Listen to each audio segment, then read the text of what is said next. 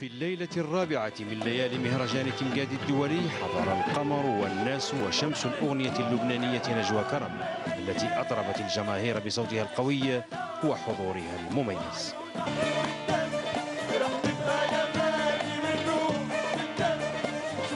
صرت وين ما بكون في ضواحي جزائر.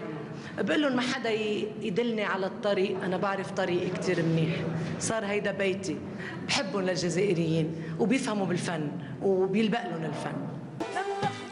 الألق الفني لهذه الليلة والحضور الأخاذ للجماهير المتفاعل يقدم لليالي آتية أكثر إبداعا وجمالية.